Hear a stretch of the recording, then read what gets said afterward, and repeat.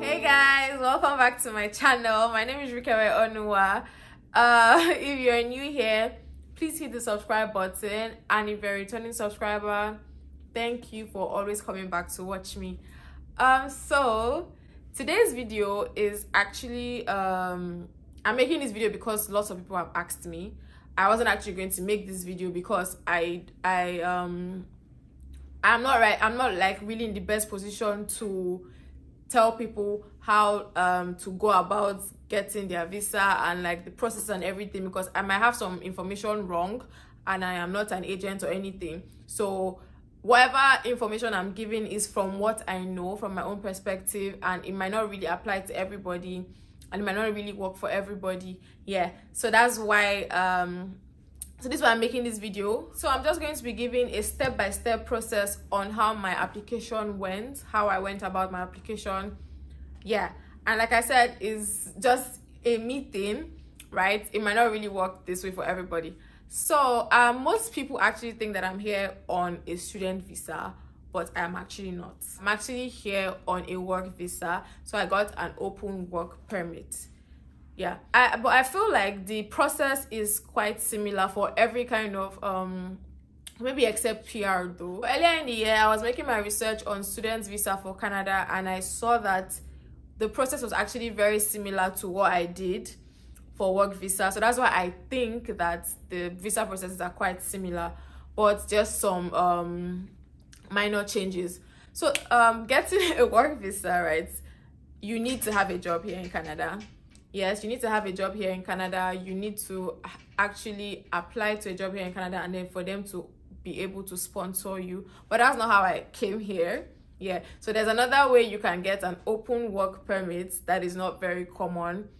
And so the way i got my open work permit was my partner was eligible for a work visa and he applied for both of us work visas for both of us. Yes, so I'm going to give a step-by-step -step process on how it went.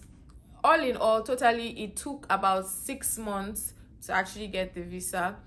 And um, from what I heard for student visa, I think is actually the same. I think five months or so. But I'm not going to speak much on that because I do not. I do not know. I have to clarify that for an open work permit or an open work visa, you actually do not need to have a job here in Canada so that's what applies to me. I did not need to have a job here in canada before coming here. Yes. So you can come here and then it's open meaning you can actually work for any employer anywhere in canada. Applying for a work visa means you have a job here in canada but an open work visa means you can come here to work in canada.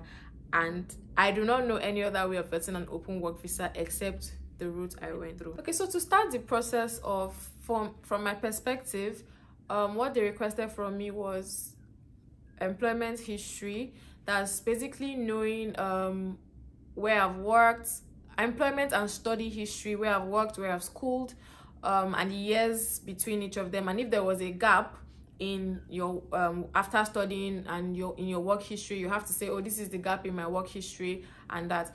And um, so the next thing they asked me was um, asked of me was police clearance certificate and uh, medical uh, immigration medical exam. So i had to do my medicals. And then there's some forms that you have to fill when you go to canada immigration website to actually apply for this visa. You have to fill some forms that are on there. So the form is basically asking for your details. So i can't really say what's on each of these forms but yeah you have to fill each of these forms with whatever details that they're asking you for. That's basically your application. Then these other um, supporting documents that's the um, employment history study history um, um, police clearance certificates which you can get at um, i got it in is it alagbon yeah the one at ikoyi the police station at ikoyi. That's where i got my police clearance certificates from um then the medical exam i did it at q life medical center. So you have to for this medical exam they ask for medical exam for both student visa and any other visa that you're, that you're applying for. And you have to take note that medical exam actually most times when you book for an appointment because like i think it's just q medical q life medical center that is doing this um um medical exam for immigration purpose i don't know anyone in lagos but like they have lots of people that want to actually do this medical exam because they don't just do for canada they also do for us so when you actually book for an appointment you might get an appointment three weeks later or two weeks or even a month later. I think i know someone that said they got theirs a month later. But i think i got mine in two or three weeks. Was it three? I think three weeks yeah. So take note that that actually takes time so yeah you um i did that. And then um what else? So basically doing all this and getting all this information all this um medical exam police clearance certificate it took me about a month to gather everything or three weeks no a month because of the time the time for the medical exam and then for it to be ready. I think it was ready the next in two days or was it the next day? It was just it was ready like very in a very short period. I think and then after that um after submitting every um of these documents that were that he asked for next thing was I got a request email for my biometrics. So you have to wait for you to, for that request email or request letter for your biometrics because that's what you're going to take to the visa application center. So yeah, I had to now book an appointment at VFS Global. Um, I think that appointment took about two weeks again. So because there are lots of people that want to travel outside Nigeria, whenever you book appointments in these places, it takes a long time. So these are one of the things that were actually slowing down the application the the wait time for um, appointments. And then um going to vfs i had to take my request biometrics request letter um passport and yeah i think just those two. Yeah just those two. I think that's what i can remember. Honestly i can't really if i can find that biometric request letter then i can check to see what and what was um, asked of me. But i can remember that i had to take that letter along and then the passport. After um, doing my biometrics i knew that the processing time had begun. So after your biometrics that's when the processing time actually begins. That's when you have to now wait and they'll start reviewing your application to see if they want to grant you the visa or not. I waited from the from when i did the biometrics to when i got a to, to when i got an email that my visa that there was a uh, not where is this thing? so um i have to get my facts right actually. I'm looking for documents to be able to give you guys information. So, so um from the time that i did my biometrics which was in may early may to when i got a, a, a an email or a letter from canada immigration. So i didn't even get the letter doesn't even say you've gotten your visa. The letter just says a decision has been made on your visa um uh, on your visa application. Or is it on your visa? On your application basically. Yes i'm kind of reading it here. A decision has been made on your application. So from the time i did my biometrics which was in early may to when i got this letter in the first i think 3rd of august or 2nd of august. So that was like from may june july august. That was like three months. So i waited three whole months to get that letter. And when i got the letter it said oh a decision has been made on your application. It didn't just say and then i needed to go to visa um, application center to submit my passport. Um so there are two ways. You can actually go to the visa application center yourself or you send your passport through dhl but the nigerian in me did not I can't just send my passport and, and not know where it is going to or not know if they actually received it or not. So I actually had to go to the visa application center myself. This time you don't have to book an appointment. You just go and when you get to the gates, you tell them that, oh, I'm here to submit my passport and it just lets you inside. You have to be there early, I think, before 10. So from 9, like when they are opening is when you can actually go. They stop really early actually. For you to submit your passport, they stop really and the time they stop it collection of passports really early in the day. So you have to go before 10 like 9 o'clock. Make sure you're there by 9 when they're opening. So you just go to the front and say oh i'm going to submit my passport. You don't have to queue or anything. And then they just tell you to go up. And when you go um to the top you have to carry your passport um and a copy of the letter that was sent to you. The letter that actually says a, a decision has been made on your application you have to carry this letter carry your passport and on your passport and okay yes i forgot to mention of this your expiry date on your passport they can't give you they can't issue you visa that extends that exceeds the expiry date of your passport. You cannot get a visa that exceeds the expiry date of your passport meaning if you were to get a one year visa right and if your uh, let's say your passport is going to expire in the next seven months they will actually give you a seven month visa and not a one year visa because they can't give you something that exceeds your a visa that exceeds your um expiry date. So if you know that whatever you're applying for whatever visa you're applying for if you know that from um from past um if you know that this visa is going to be two years make sure that you actually update your you actually um apply for your passport and everything. Make sure that your passport doesn't expire before that two years. Because if it expires before two years instead of getting two years visa that you should have gotten you will get the amount of time left on your passport. So yeah take note of that. Okay so on the letter you have to on the letter it even tells you that when you are going to the um to the canada application center the visa application center sorry you have to take your passport with you a copy of the letter that says your decision has been made and then your part your there must be at least one blank page in your part of on your passport. For those that to travel very you know travel a lot you must have one blank page on your passport. And um your passport must be valid for the duration of your expected length of stay in canada. So if you know that uh, maybe they're going to give me a two years visa make sure that you have your passport doesn't expire before two years. If it expires in eight months instead of two years visa they'll give you eight months visa. Um, please note that we cannot issue a visa beyond the expiry date on the passport. Again like i just said. So after that after submission of passport um i had to wait. So i actually paid for delivery because i didn't want to go and pick it up again. I paid for delivery of my passport to my house. So um you get emails and messages from vfs telling you that your passport has gotten to abuja um, it has gotten to where it is going to be stamped um, it has been returned um, you're going to receive your passport the next day. So from when i submitted my passport to when i got it was about a week or five days i think. It wasn't even up to a week. I think it was like five days um, i submitted the passport and then i got it back in five days. And when i got my passport back i got it with the stamped visa and there was a letter called um, a letter of introduction. Um let me look for that letter. Because i have this big file here. Yeah. So oh no no no no sorry. I didn't get i'm so i'm like really mixing some things up because it's been a while. So i didn't get not really a while but i didn't get this letter of introduction with the visa. I got my passport back with just my passport and the stamped visa in it right? Yeah. So this one came in the email. This um letter of introduction actually came in the mail yes. That's what that's what yeah. It came in the mail.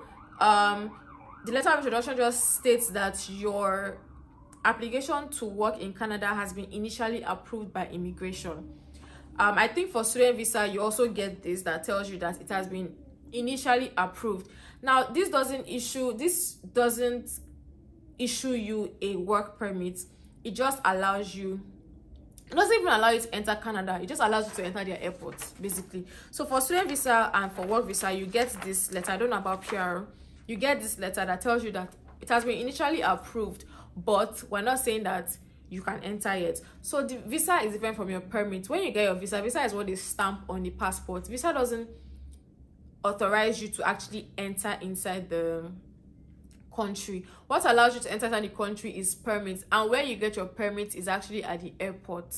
Yes. So um you have to take your passport with the stamped visa of course and then this letter of introduction.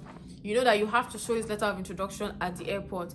So after i got my visa um i started booking flights preparing to travel and everything and then i traveled.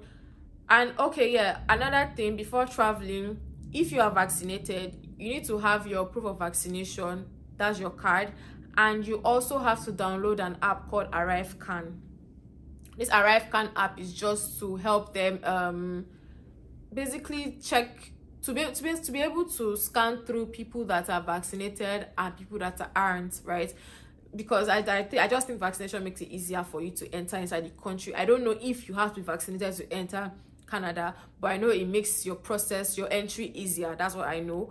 So when you download ArriveCan, you you can only uh, you should download and register on ArriveCan and you should upload your proof of vaccination to ArriveCan 72 hours before your flight. So that's like three days or less before your flight. You can do it on the day of your flight, but you can only do it from three days before your flight. So three days before your flight, two days before your flight, the day of your flight, fine. But just make sure you do it before you get to the airport. Yeah. So um you download ArriveCan, sign in, pick the kind of it will ask some questions, you pick your answer, then you upload your vaccination um, card, that vaccine card that they gave people and after being vaccinated you upload the vaccine card to show that you've gotten your full um, dosage of vaccine and then it will give you to tell you it will give you a status basically. There's ai or v. I'm not really going to go into that but it just shows that okay we've seen your vaccination um we've seen the proof of a vaccination and we've acknowledged it or we don't accept this one or it's just like i can't really remember how that works but i know that you get a status and then when you get to the um to canada they can actually decide to maybe tell you to to do something more or just let you go. It just depends basically. So um i did my ArriveCan, got a status. You have to also print out the receipt of your ArriveCan. so you are carrying the receipt of your ArriveCan. your um that's for me right? For work visa. I had to bring along my receipt of my ArriveCan um the letter letter of introduction my passport um if you have a place to stay already you just um print out your proof of housing that you have where to stay. Yes you proof you print that out that yes i have where to stay. And that was it. That's those are the documents i needed to have with me basically. Yeah um and then when i got to when i got to canada airport to the immigration they took my letter of introduction from me and they just actually gave me the work permits they didn't really ask me any question actually. Because i was i saw that they were asking people question and i thought they were going to ask me question but i wasn't asked any question. So i just got the permit and that was it actually. It was a very kind of a very smooth process for me. I know that it's not always this smooth for every other kind of visa or for every other person. It was a smooth process but it was very long it was very very long. So for i know that canada um application canada visa application you don't need to do interviews. You just need to fill so many forms. So at the beginning it wasn't smooth actually because the, the, the process of filling these forms going to get this going to get this um, document going to do your medicals um, biometrics um going to for police clearance it wasn't actually fun at all right that that part wasn't fun. But after you do all that you just have to wait a long time. So you have to be patient. Canada um, process can be really slow. It can be really really slow right? So you have to actually be patient. You have to be really really patient. I waited for three months. I wasn't even thinking about it anymore. So when i got i was like oh okay. Like I had to like be really really patient. Um okay, so regarding housing, um we actually got someone that was already in Vancouver to secure housing for us. And it's actually temporary. So sort of like an Airbnb is furnished and everything. Um and we paid for 2 months. So it means that we're actually actively looking for another apartment to move to because we can only be here for two months. Uh so yeah i think that's your best bet. Your best bet for accommodation really is getting a temporary apartment probably airbnb because for you to actually get a permanent apartment most landlords actually want to see you. So when you when you find these houses or maybe facebook marketplace or live they want to actually see you. And you also have to actually see the place so you don't get scammed you have to see the landlord you have to go to the um, house to actually see if what you're seeing in pictures is what you're seeing is what you actually get in real life.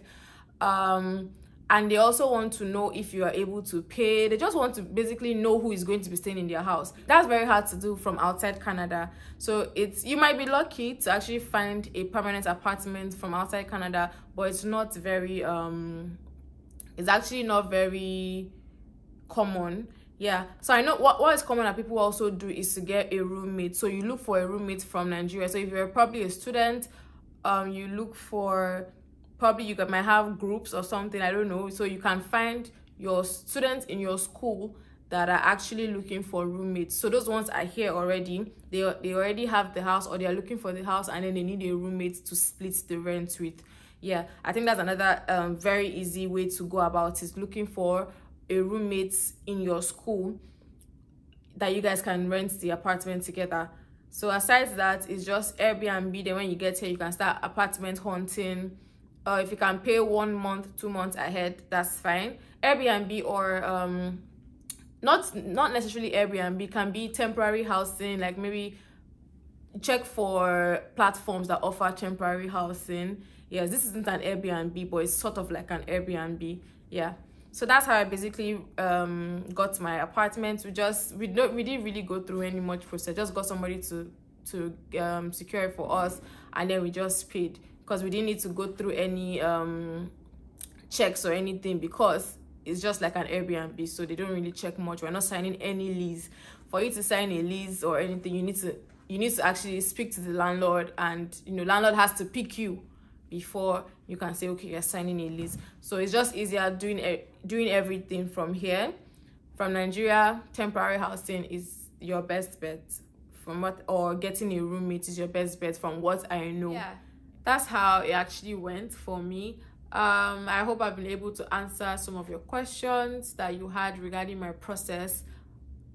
It was just this for me so thank you guys for watching my video. Thank you for subscribing. Make sure you hit the like button leave your comments and subscribe if you have not. If you got to this point in this video and you haven't subscribed please subscribe. Thank you. Like my video share and drop your comments. See you guys in my next video. Bye